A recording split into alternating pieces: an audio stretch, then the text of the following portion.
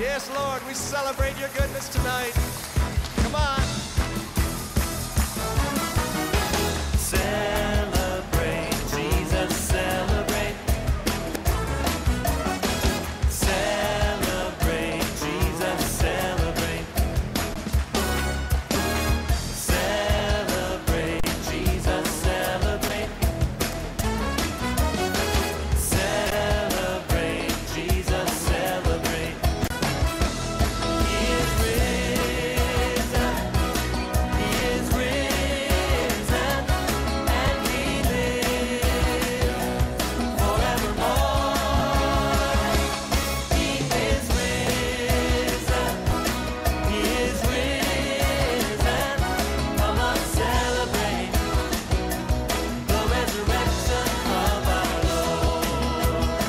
Welcome to Psalm for the Day. Psalm for the Day is coming to you live from the Redeemed Christian Church of God, Central Parish, Abuja. Let us pray. Everlasting Father, mighty God, King of Kings, we are grateful for the opportunity you have given to us to read the Psalm for the day and meditate on it. Speak to us and give us understanding from above in the mighty name of Jesus. In Jesus' name I pray. Amen. Our reading today is taken from Psalm chapter 7 from verses 11 to 16. I read, God judgeth the righteous and God is angry with the wicked every day. If he turn not, he will whet his sword. He had bent his bow and made it ready. He has also prepared for the instrument of death and he ordained his arrow against the persecutors. Behold, he travailed with iniquity and had conceived mischief and brought forth falsehood. He made a pit and digged it and is fallen into the ditch which he made. His mischief shall return upon him, upon his own head, and his violent dealing shall come upon his head. This psalm is traceable to the root of David's persecution by King Saul and indeed his son Absalom. A lot of courtiers from King Saul's palace gave counsel to King Saul that he should keep watch over David because it was assumed that David was going to overthrow King Saul. David was falsely accused of plotting to overthrow King Saul. In fact, a, ling, a ringleader by name uh, Cush of the Benjamite tribe, of the same tribe with King Saul, facilitated the processes for the persecution of uh, David. David knew he was falsely accused, but what else could he do? Several times we as Christians are faced with similar situation in our Christian life, falsely accused of things we never knew of. Indeed, if as Christians you are falsely, accused, what will you do? Ordinarily, as a human being, you would like to take uh, revenge. Reacting to a situation of false accusation could be the right thing to do by others, but not by David, and certainly not by you, who is a child of God. Like David, you ought rather to turn to God Almighty, your Maker, to vindicate you. Why should David or you turn to God? God, because God Himself said, Vengeance is mine. And as St. Paul, under the leading of the Holy Spirit, wrote, Dearly beloved, do not avenge yourself, but rather give place to wrath, for it is written, Vengeance is mine, I will repay, says the Lord. But often a time we either think God is too slow in taking vengeance or God does not take vengeance at all.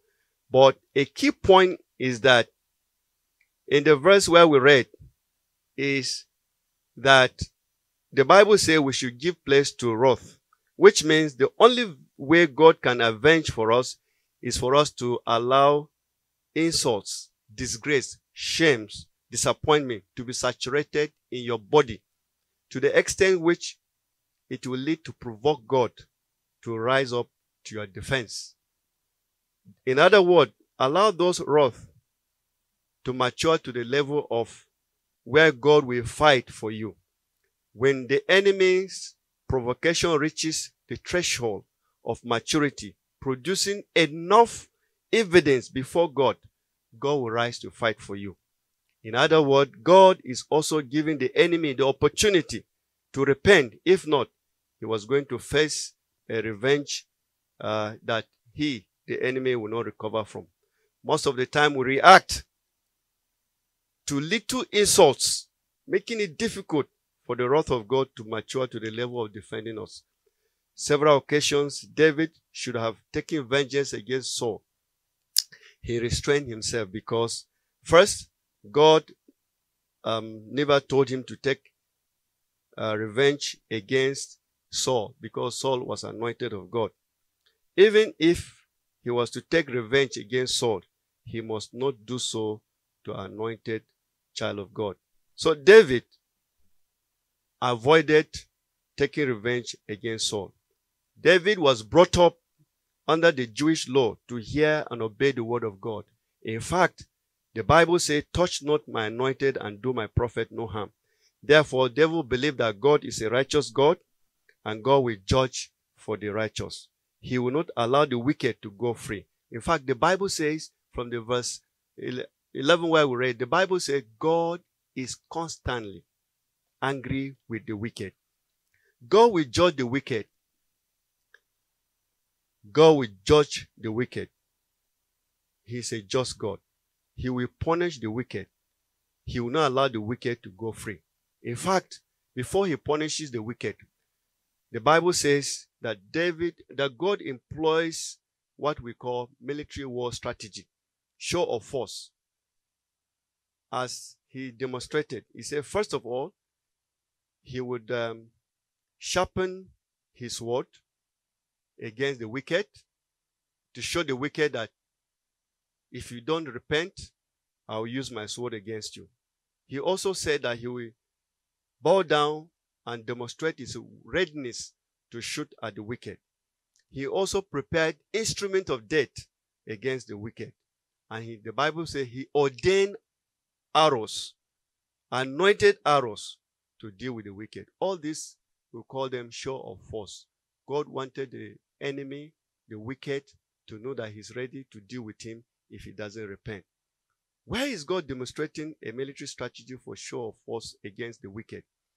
He is taking his time for the wicked to change, for the wicked to repent, because he's a merciful God. But unfortunately, the wicked is hardened. And when the wicked is hardened in his wickedness, the extent to which God can forgive him um, is no more there. Because when the wicked is hardened in his heart, it goes to the extent of traveling with iniquity.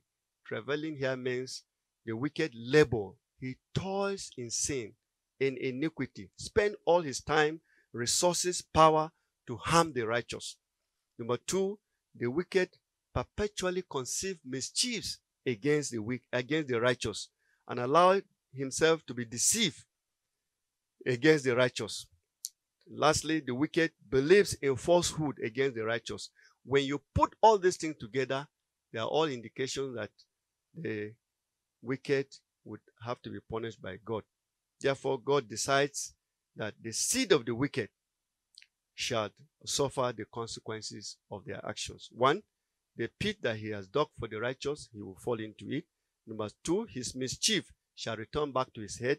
Number three, his violent dealings shall come down upon him. The purpose of punishing the wicked is to establish God's standard of righteousness to those who do wickedly. Sometimes, and most of us who believe in um, the fact that when you curse the wicked, you are uh, ex- is what they call hate speeches and hate languages. No, it is a declaration against the wicked, not to continue with his act of wickedness against the righteous. I'm believing God that God Himself will defend us in Jesus' name. Because the Bible says in Second Thessalonians chapter 1, verse 6, says, Seeing it is righteous thing with God to recompense the uh, seeing it is righteous thing with God to recompense tribulation to them that trouble you. So anybody that troubles you, you don't have to take revenge. Just wait for God. God will address your situation. God will fight for you. God will defend you, and it shall be well with you in Jesus' name. Let us pray. Father, in the mighty name of Jesus, we thank you for the word that has been spoken, assuring us that we should not take revenge because you are there every time to fight our battle. You are there every day getting angry with the wicked, and the wicked will suffer the consequences of their action. We look up to you, Lord. Continue to fight our battle in the mighty name of Jesus. Thank you, Father. In Jesus' mighty name we pray. Jesus.